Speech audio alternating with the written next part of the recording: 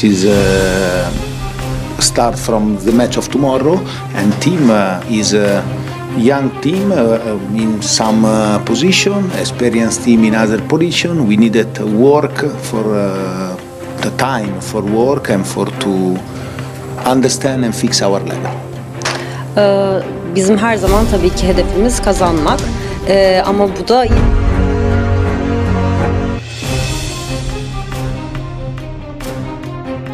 Megawati Hangestri Pertiwi menggelar latihan keduanya setelah resmi tanda tangani kontrak selama dua musim bersama Pink Speeders. Dalam sesi latihan kali ini terlihat wajah Megawati Hangestri Pertiwi menggunakan hijab dan baju training berwarna hitam pink yang menghiasi si kubu Pink Speeders. Megawati Hangestri Pertiwi untuk kedua kalinya lakukan sesi latihan bareng Pink Speeders usai putuskan kontrak bareng Dai John Red Spark. Resmi hari ini Megawati Hangestri Pertiwi putuskan kontrak usai pertandingan tadi malam Red Sparks vs Pink Speeders. Megawati Hangestri Pertiwi secara resmi bergabung bareng Pink Speeders dan ditunjuk menjadi pemain andalan Pink Speeders untuk menggantikan posisi Kim Yeon Kung. Kepastian itu diumumkan Federasi Bola Voli Korea Selatan pada tanggal 29 Desember tahun 2023 hari ini. Dirinya diikat kontrak dua musim untuk menjadi pendatang baru Pink Speeders bersama pelatih handal Marcelo Abodanza. Sebelumnya tim Pink Speeders bersama pelatih Marcelo Abodanza terus mengalami penurunan performa terpuruk dengan alami beberapa kali kekalahan. Pelatih Marcelo Abodanza meyakini bahwa sosok Megawati Hangestri Pertiwi sebagai pengganti Kim Yeon Kong. Megawati Hangestri Pertiwi akan melakoni laga perdananya menjadi andalan Pink Spits akan menghadapi pemuncak klasemen. Nama Megawati Hangestri Pertiwi tengah ramai dibicarakan usai kepindahannya di Pink Speeders, dan menjadi kebanggaan pelatih Marcelo Abodanza.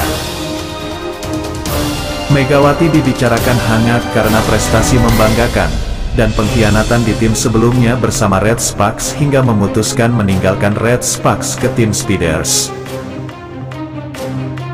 Karir Megawati akan melambung tinggi di kancah internasional dalam permainannya di Liga Bola Voli Korea Selatan. Megawati yang sebelumnya bermain untuk tim voli Daejeon Kwon yang Red Sparks berhasil menjadi MVP Most Valuable Player. Ketika melawan IBK Altos title untuk pemain terbaik itu diraih Megawati meski dirinya baru pertama kali bermain dalam Liga Voli Korea tersebut. Namun Mega menjadi incaran tim-tim papan atas Korea bermain di kancah dunia internasional. Publik pun menyoroti soal besaran gaji yang diterima oleh Megawati di tim barunya itu.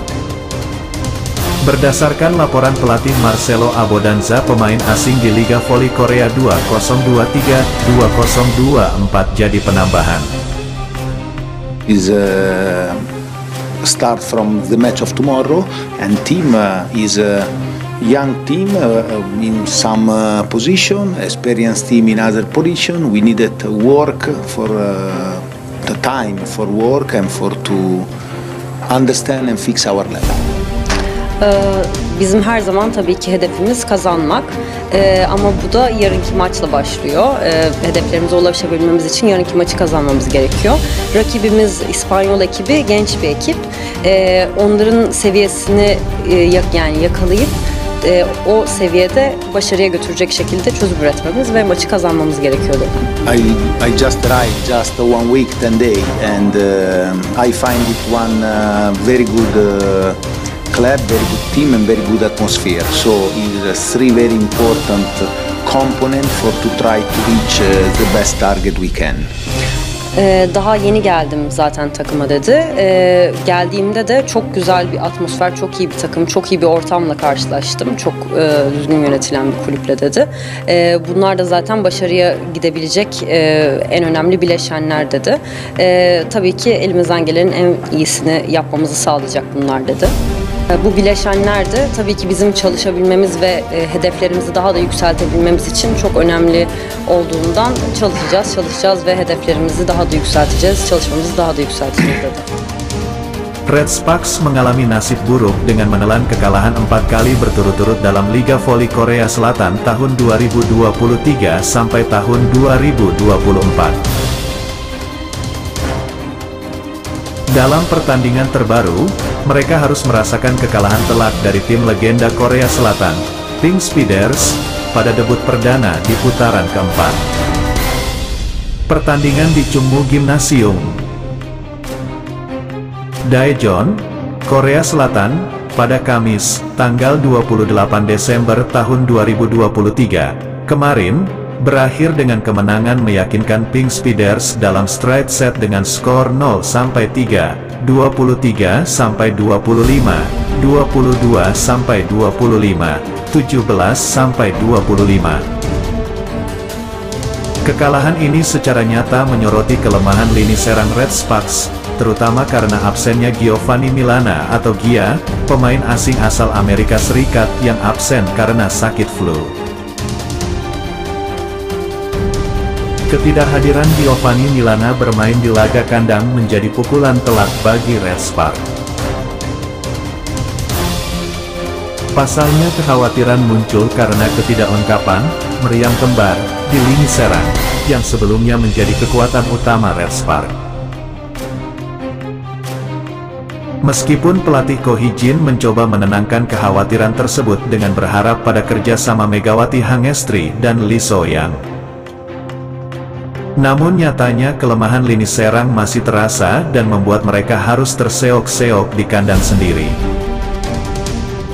Situasinya kacau akibat absennya Gia yang tiba-tiba, kata Ko Hee-jin dikutip dari Chosun via bolasport.com pada Jumat, tanggal 29 Desember tahun 2023. Tetapi saya pikir para pemain sudah melakukan yang terbaik, ulasnya. Walau begitu, bukan Ko Hee-jin namanya jika hanya sekadar melakukan evaluasi demikian. Pelatih berusia 47 tahun itu tetap melontarkan kritikan penyebab tim asuhannya kandas memalukan di hadapan publik sendiri. Beberapa pemain turut dikritik, tak terkecuali pevoli asal Indonesia Megawati Hangestri. Tetapi saya pikir para pemain sudah melakukan yang terbaik, ulasnya. Walau begitu, bukan Ko Hee-jin namanya jika hanya sekadar melakukan evaluasi demikian. Pelatih berusia 47 tahun itu tetap melontarkan kritikan penyebab tim asuhannya kandas memalukan di hadapan publik sendiri. Beberapa pemain turut dikritik, tak terkecuali pevoli asal Indonesia Megawati Hangestri. Ko Hee-jin menuturkan bahwa Megawati Hangestri masih belum bisa membuat keputusan tepat di saat-saat krusial ketika melakukan serangan.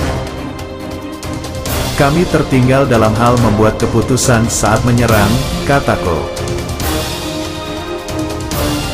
Serangan dari Wisol yang sudah bagus, tetapi kekuatan pengambilan keputusan Park Eun-jin dan Mega masih buruk, tandas sang pelatih. Kekalahan ini membuat posisi Red Sparks masih sulit untuk memperbaiki peringkat untuk mengamankan tiket zona playoff.